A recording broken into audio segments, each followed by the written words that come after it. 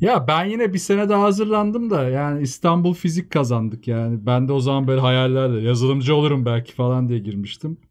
Sonra fizik okurken o kadar sıkıldım ki ben galiba sayısal hiç istemiyordum zaten. Çünkü bizim lise dönemi şeydi ya, ya sayısal yazacaksın ya da geri zekalısın gibi bir bakış açısı vardı. Ben de geri zekalı gibi sayısalcı olmuştum. Ne gerek vardı ki halbuki. Ha gerçi şu da oluyordu yani arkadaşlarınla aynı sınıfta olmayı istiyordun.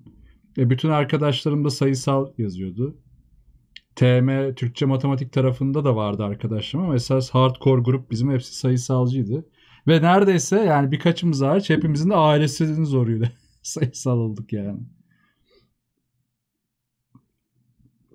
Halbuki ne gerek varmış.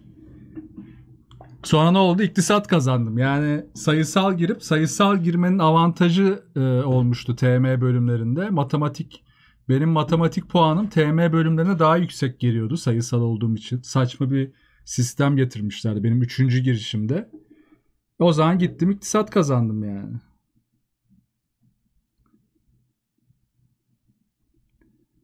He ne oldu? Günün sonunda işte bak sözelciler kazandı yani. Biz babayı aldık. Ve hep sözel işler yaptım. ya da Türkçe. Yani matematik bildiğim için mutluyum tabii ki. Yani full sözelci olsam da yine mutlu olurdum ama matematik bilmeyi yine isterdim.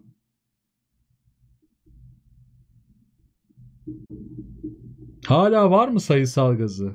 Fulya seni de mi gazladılar? Sayısalcı olacağınız falan diye.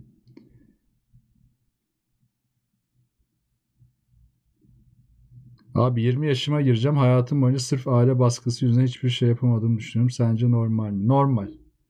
Ben de öyle düşünüyordum. Sonra her şey değişiyor. Hiç merak etmeyin. Her şey değişiyor. Tabii daha zor olabiliyor bazıları için. Bazıları için daha kolay olabiliyor. Benimki ne çok zor ne çok kolaydı. Zor ol, çok zor olduğu dönemler oldu. Bazen kolaylaştı dönemler oldu.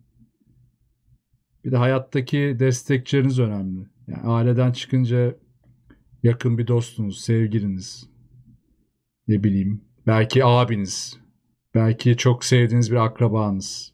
Çok pek olmayabiliyor çok sevilen bir akraba ama bu tarz destekçiler bazen e, ailenizden bile size yakın olabiliyorlar. Yani belki de öyle birini hayatınıza katmanız ya da hayatınızdaysa onunla e, yola devam etmeniz de gerekebilir.